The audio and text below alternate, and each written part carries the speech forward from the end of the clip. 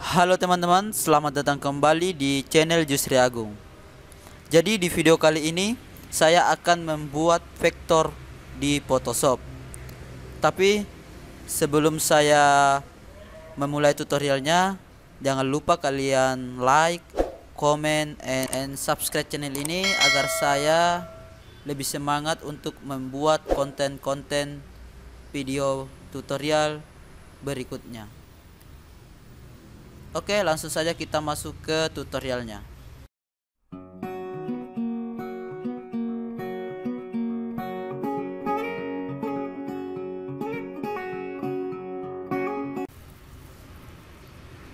Langkah pertama, proses pembuatan kerudung. Sebelum kalian membuat vektor, kalian harus menghapus background pada gambar tersebut. Lalu fokus ke objek yang ingin diedit. Kemudian ganti dengan latar solid color.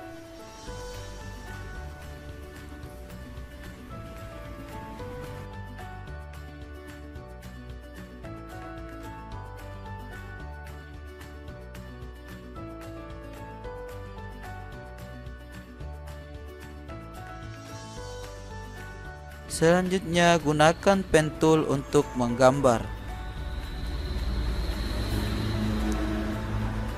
Di sini saya memulai dari kerudungnya dulu.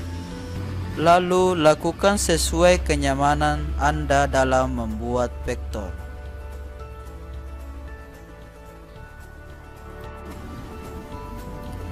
Selanjutnya kalian pentullah di bagian kerudung.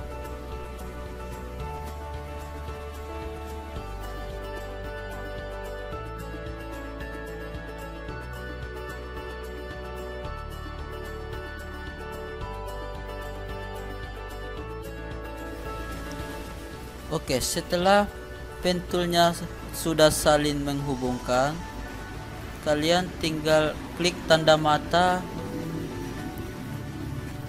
kemudian klik dua kali, lalu ganti warnanya menjadi warna dasar hitam seperti kerudung yang ada pada gambar tersebut. Selanjutnya, kembalikan tanda matanya untuk melihat hasilnya.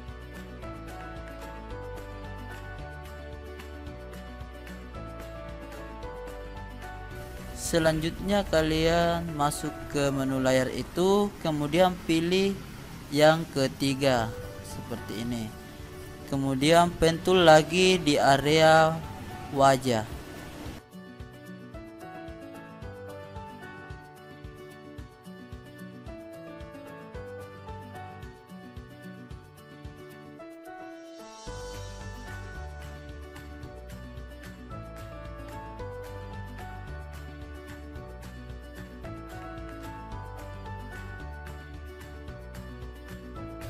selanjutnya buat layar baru.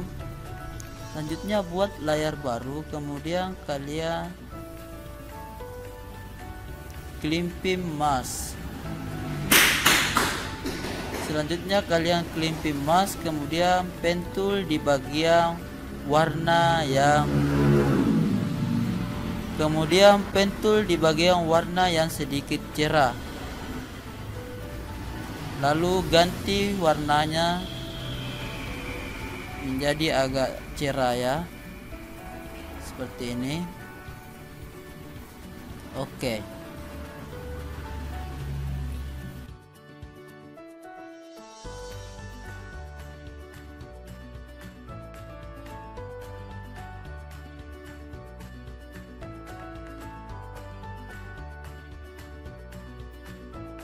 Selanjutnya pilih di menu yang kedua agar layarnya tidak terlalu banyak. Lakukan seperti yang saya lakukan.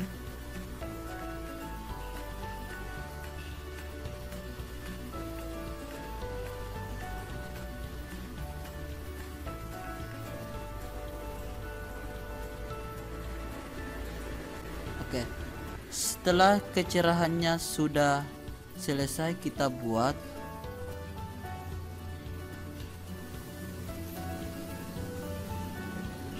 Selanjutnya membuat lagi layar baru di sini. Kemudian kita buat paling cerahnya.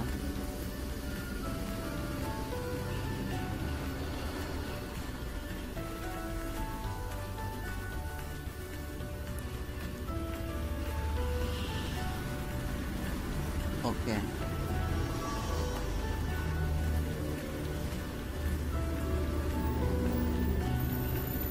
Selanjutnya kalian buat mask pada menu layar. Kemudian pilih brush. Layar hitam di bawah kita ganti yang tadinya putih menjadi hitam lalu turunkan opacity-nya.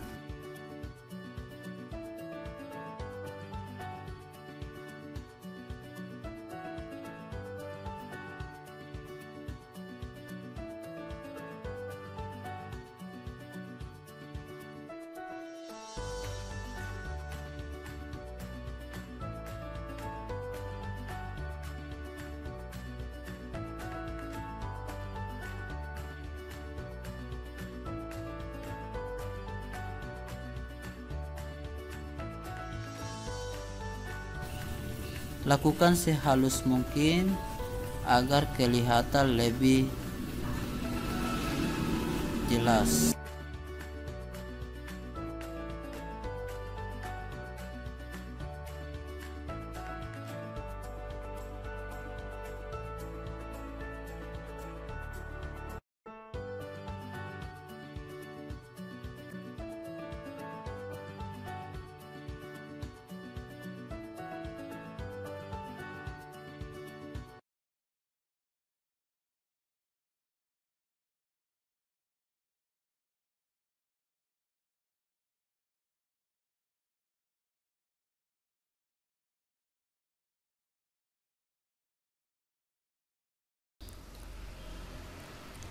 Langkah kedua membuat garis di bagian alis, mata, hidung, dan mulut.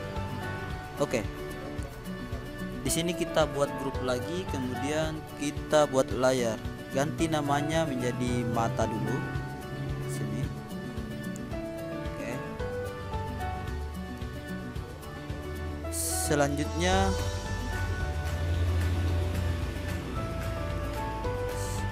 Selanjutnya kalian pilih pen tool.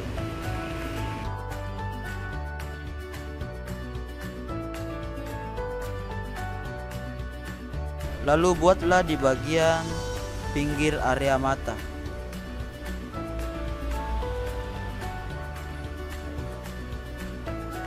Jadi di sini kita menggunakan warna dasar hitam. Jadi di sini kita menggunakan warna dasar hitam.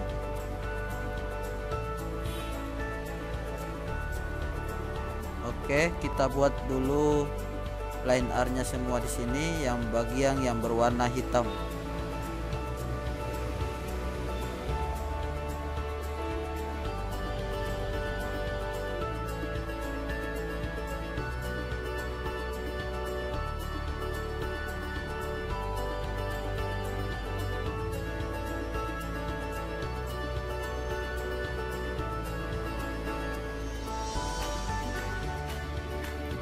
Setelah itu kita masuk ke hidungnya dulu. Sini. Kita buat dulu di warna paling gelap.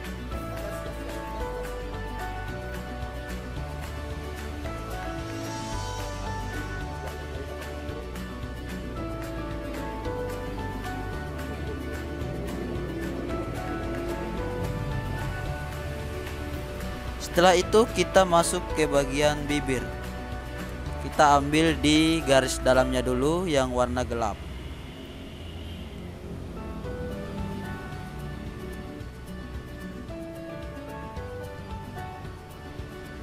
Oke setelah itu kita buat layar baru di bawahnya lagi.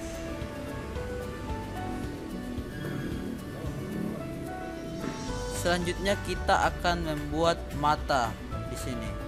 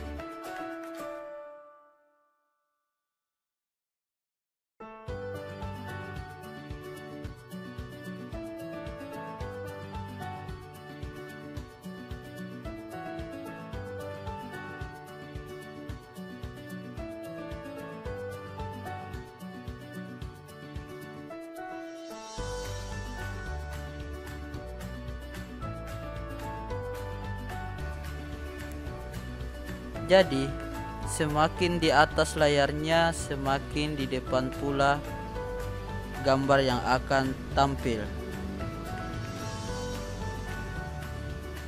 Kalian sudah pasti tahu ya, bermain layar di Photoshop.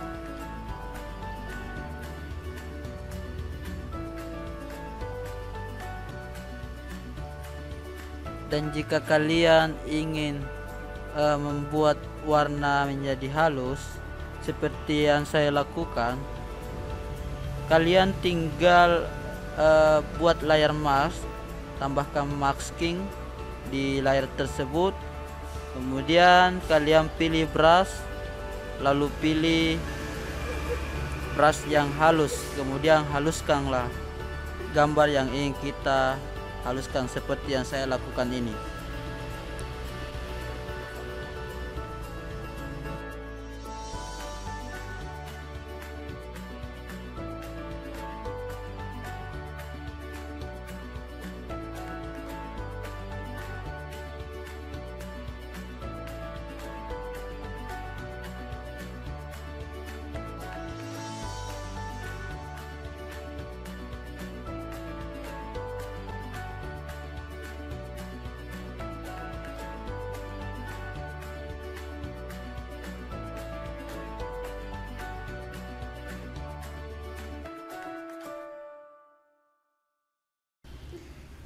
Oke, setelah kalian buat warna mata di dalamnya itu kebiru-biruan, tambahkan cahaya putih agar kelihatan lebih keren atau lebih hidup. Selanjutnya kalian tambahkan warna merah di bagian pinggir.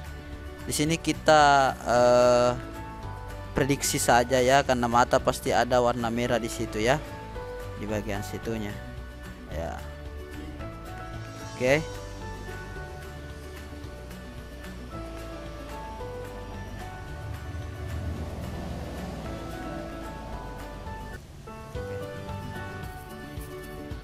Langkah ketiga, proses pembuatan di bagian mulut. Oke. Okay seperti biasa kalian buat buat grup. Kemudian ganti namanya menjadi mulut.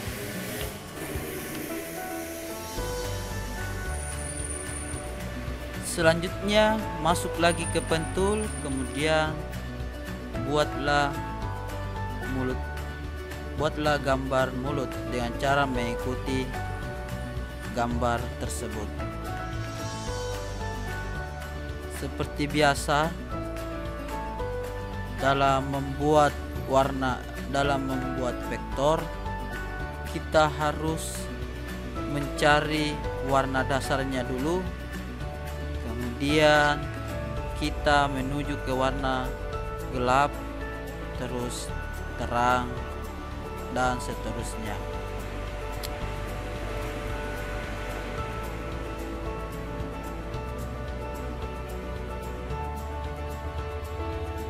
dan jika kalian ingin memperhalus kalian tinggal membuat emas.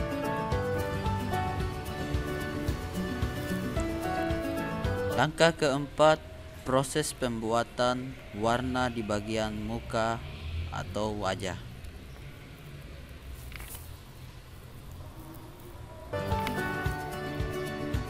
Seperti seperti biasa dalam membuat vektor kita harus memperhatikan sedin pencahayaan dari wajah tersebut. Kita memulai dari warna dasarnya dulu. Kemudian setelah kalian masuk ke warna dasar selanjutnya kalian masuk ke warna paling gelap setelah masuk ke warna paling gelap kalian turunkan lagi ke bawah kemudian cari yang warna terang seperti yang saya lakukan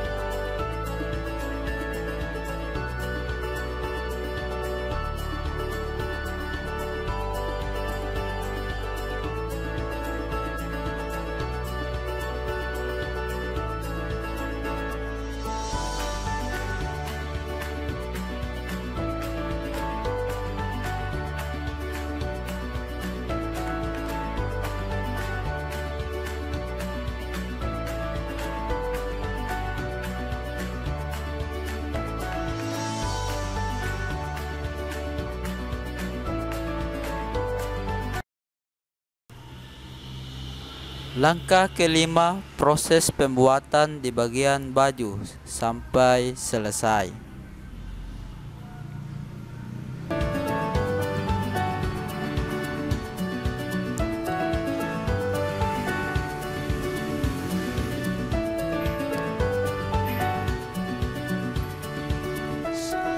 Oke, setelah di sini kalian gambar bajunya di sini dulu seperti biasa yang kita lakukan gunakan warna dasar kemudian cari yang paling gelap kemudian buatlah warna cerah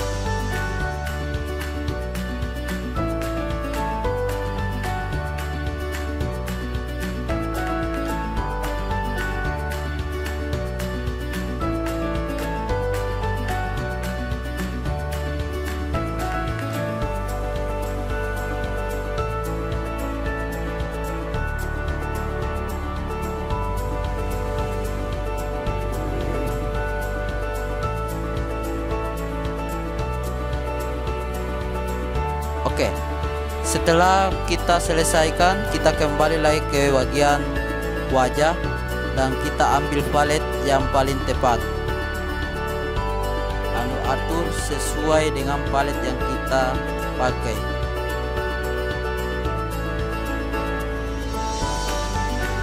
Di, di finishing ini kita harus uh, mengin kita harus melihat kembali hasil yang kita kerjakan.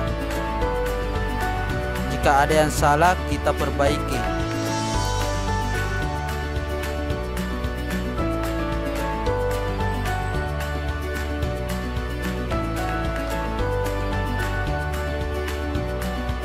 Setelah gambarnya sudah bagus, kita kontrol alternatif shift E.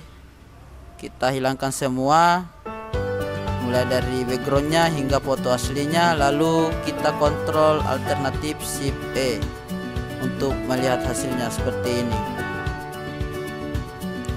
Selanjutnya kita menuju ke editan yang terakhir. Jadi di sini namanya salsabila kita edit dulu. Kita buat PNG untuk kita bagikan ke orangnya misalkan orderan yang dia inginkan seperti itu ini yang saya lakukan seperti ini. Oke masukkan foto yang tadi kita sudah JPEG atau JPEG dalam Photoshop. Kontrol alternatif shift E. Kemudian kita edit sesuai uh, sesuai skill kita ya bagaimana baiknya foto tersebut. Nah seperti yang saya lakukan ini simple.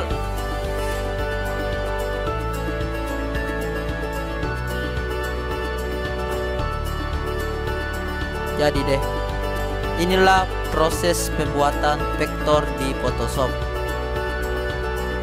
Jadi terima kasih telah menonton video saya. Saya Jus Dagung dan selamat belajar.